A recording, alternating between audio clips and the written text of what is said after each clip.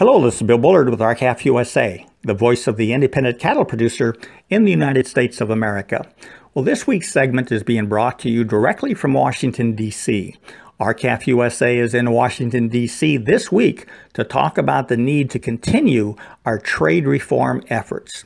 We have expressed our support for the tough stance that the United States has finally taken against China's theft of our intellectual property, against China's cheating, and against China's devaluation of their currency in order to gain an unfair advantage against U.S. farmers and ranchers, U.S. manufacturers, and even U.S. workers.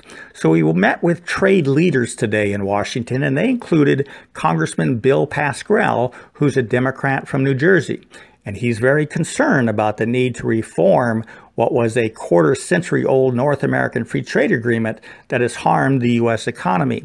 We also met today with Senator Marco Rubio, a Republican from Florida who was in fact a presidential candidate and also was in fact an ardent free trader. And now he realizes that free trade simply does not work and does not exist around the world. And what we need is a more strategic trade policy. And he is working hard to reform our trade policies vis a vis China. We also met with Tammy Baldwin, a Democratic senator from Wisconsin, who also is very supportive of achieving the trade reforms necessary to rebuild the U.S. economy, both for manufacturers and for farmers and ranchers. And then we met directly with our U.S. Trade Ambassador, Robert Lighthizer, and we expressed to him the need to restore country of origin labeling so U.S. producers, cattle farmers, and ranchers could begin to compete in their own marketplace against the flood of imported product that's being brought into the United States as an undifferentiated product that competes directly with U.S. producers' product even though the U.S. producer produces the best beef in the world under the very best of conditions, the meat packers have been given a license under the North American Free Trade Agreement to expand their source of inventories by 31%, because that's how large, in addition to the United States, the cattle herds are in Canada and Mexico. So these meat packers can unilaterally decide to import cheaper cattle and cheaper beef with which to leverage down U.S. cattle producers' prices. For example, they can import a 12 year old cow from Canada or Mexico, bring it into the United States, slaughter it here, and all the resulting beef could be labeled as product of the USA to compete directly against the beef produced by our own American farmers and ranchers.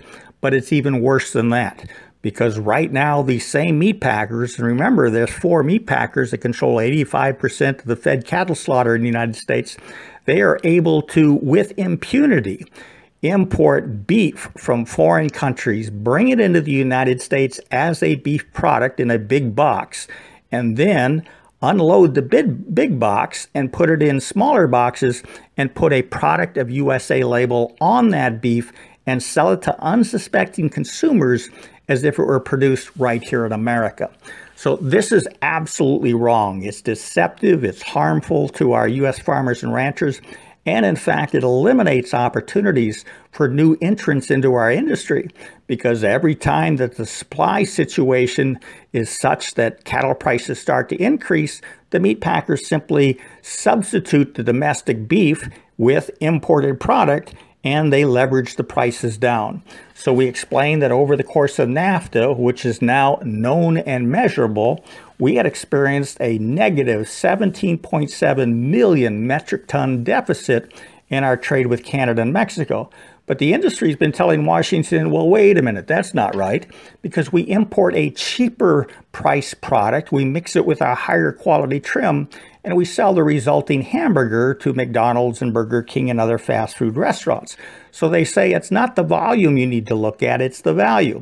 But if we look at the value, we see the situation is even worse because we are actually importing and exporting the very same type of beef products from Canada and Mexico. And so what we see is that over the course of the NAFTA period, about 25 years, we've accumulated a $34.3 billion deficit. With that, we're out of time. We hope you have a productive week. Thank you and goodbye.